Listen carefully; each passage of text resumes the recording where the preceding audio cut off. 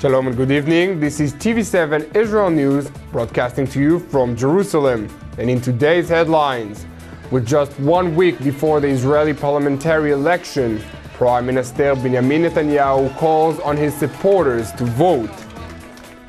The United Arab List is expected to become Israel's third strongest party. Arab League Secretary General Nabil Elaraby calls for the immediate creation of a multinational force to fight terrorism and the groups behind it. With just one week before the Israeli parliamentary election, Prime Minister Benjamin Netanyahu toured Jerusalem's Machne Yehuda market, which has traditionally been a bastion of Netanyahu's Likud support. שבמדיניות התקיפה שלנו החזרנו את הביטחון לירושלים. השוק הזה פורח, השוק הזה צומח, השוק הזה הפך להיות מוקד משיכה להמוני אזרחי ישראל שבאים הנה, כמו שאנחנו באים הנה, באהבה ובשמחה. ואני רוצה להגיד לכם, כדי שזה ימשיך להיות כך, אני והליכוד זקוקים לקולות שלכם. כי אם זה יהיה תלוי בלפיד, זה יהיה ציפי ובוז'י. ואם זה יהיה תלוי בקולות של הערבים, זה יהיה ציפי ובוז'י. זה יהיה ציפי ובוז'י. אם אתם רוצים את ציפי ובוז'י, לא בעיה. אבל אם אתם רוצים אותי ואת הליכוד, בירושלים מאוחדת, בירושלים בטוחה, בירושלים משגשגת, בואו להצביע ליכוד. The press was not invited to cover the tour and was informed about it only after. Political experts ascribe that decision to concerns with the Likud about Netanyahu declining popularity. According to reports, there has been low turnout for Likud campaign events, the ejection among the Likud grassroots activists, and in-depth polls that indicate the governing party is weaker than might otherwise appear. Meanwhile, the expected surprise of the upcoming election, which was a political sideshow for much of the past six decades, Israel's Arab minority is hoping to gain political muscle after the next week's parliamentary election, with four Arab parties uniting under one banner for the first time. Surveys show the Joint Arab List could finish in third place and potentially become a new force in governing coalition building in a country where no party has ever won an outright majority in parliament. Israeli Arabs believe they are treated as second class citizens and see the newfound political unity as an important step and a tool to fight against discrimination.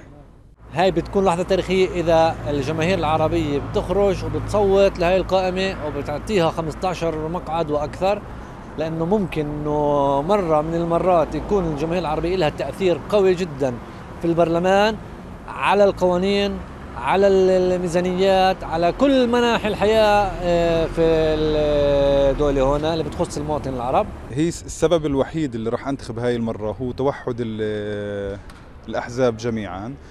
وكمان مرة بدون ما الواحد يعلق عليهن أمال كبيرة أو مسؤوليات ضخمة أو يعني إشي اللي آه، فوق طاقة الطاقة اللي يتحملوها مجرد انه ائتلفوا فبيستاهلوا الصوت بهاي الحلبة كفاية انه يكونوا متوحدين حتى يحصلوا احسن النتائج Arab parties have never been included in any Israeli government, nor have they sought membership. That is unlikely to change now, but the Joint Arab List could still have a big role to play after the ballots are counted. In Israel's parliamentary election system, voters choose a party rather than an individual candidate, and the head of the party with the most political allies will usually win a presidential mandate to form the coalition government.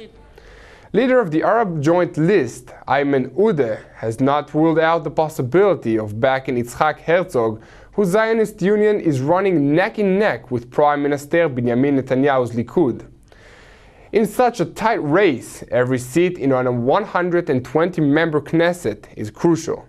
نحن اليوم نقدم نموذجا مغايرا نموذجا مخالفا نحن توحدنا وجمعنا التناقضات الثانوية في مواجهة التناقض الرئيسي عندما نكون في القرى غير المعترف بها بالنقب نحن لا نسأل الناس عن مواقفهم السياسية لا توجد لهم لا كهرباء ولا ماء عندما نكون في أم الفحم لا نسأله إذا صوت للحركة الإسلامية أو للجبهة أو للتجمع كلهم مهددون من ليبرمان In a possible political twist, should Herzog and Netanyahu opt to form a united coalition, Uda is likely to become the head of the opposition, which would be the first time in Israel's history that an Arab party assumes the role. Odeh is not well known outside the Arab community, but he drew mainstream attention during a televised election debate in which he kept his cool when chairman of the right-wing Israel Beitenu party, Foreign Minister Avigdor Lieberman, accused him of wanting to destroy Israel from within by representing terror organizations. אתם פועלים על מנת להרוס את מדינת ישראל מבפנים. אתה גיס חמישי, אתה נציג של ארגוני טרור בכנסת ישראל. המילה שלום נהפכה בבחירות האחרונות למילה גסה.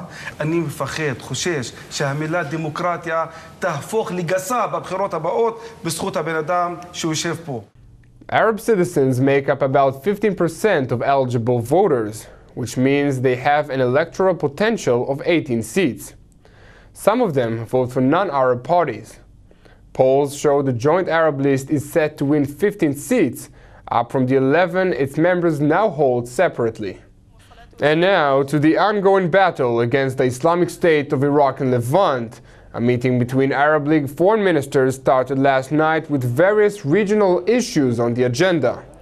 The two-day meeting, presided over by Jordanian Foreign Minister Nasser Judeh, called for the creation of a regional force to combat Islamists as countries face a growing threat from the Islamic State of Iraq and Levant. Speaking at the opening session of the Arab League meeting of foreign ministers, Secretary General Nabil Elaraby called for the immediate creation of a multinational force to fight terrorism and the groups behind it.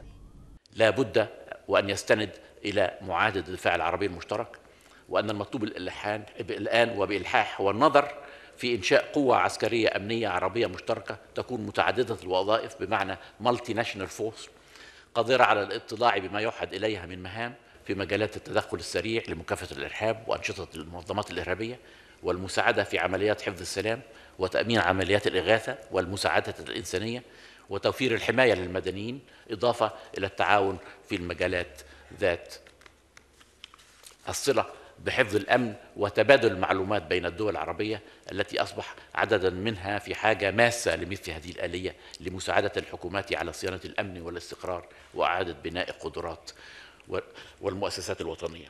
It was not immediately clear which countries would join such a force or where or when it would be created.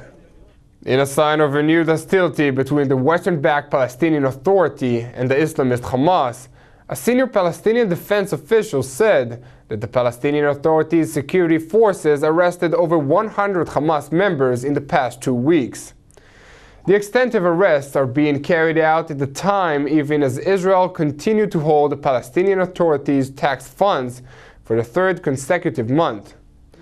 The funding freeze is a punitive measure, first initiated after the Palestinian government signed the Rome Statute and applied for membership in the International Criminal Court at The Hague. The tax funds are used by the Palestinian Authority to pay salaries for its employees, both civil and military.